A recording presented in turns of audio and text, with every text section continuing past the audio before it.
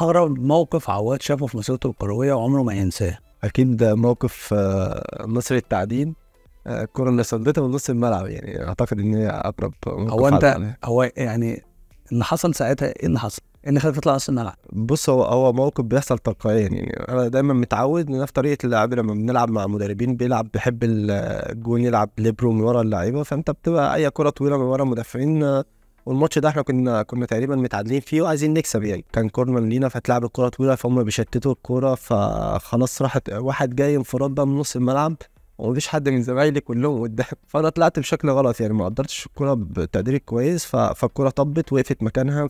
فأنا خلاص يعني بقيت في نص الطريق فمش عارف أعمل إيه فالواد شاطها هو شاطها بشكل مش كويس لأنه لو شاطها بشكل كويس كان خلاص آه، جول وكنت أنا بره اللعبة يعني. فجت في ال... في ال... في ال- في المستوى بتاعي فقدرت أتعامل معاها. بإيدي بشكل تلقائي يعني. بس الغريب إن مفيش حد شافها.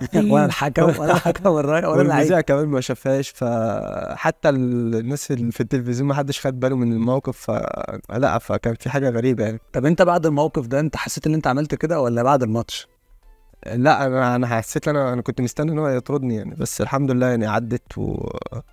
وخدت كان وقتها يعني ضجة بشكل كبيرة جدا لأن ما بتحصلش كتير في الكورة يعني وأنت بعد ما عملت الحركة دي وحسيت خلاص ان الحكم هيطردك مفيش حد من زمايلك في الملعب كلمك أو قال لك أي حاجة؟ لا لا هي ال- اللقطة عدت ولأن إحنا كنا الفترة دي آه، يعني كان آخر خمس دقايق من الماتش وخلاص إحنا مضغوطين ما حدش كان مركز في ال... ولكن أنا حسيت بأثر ال- اللقطة لما رحت الدوري السعودي كنت بمشي هناك في ال...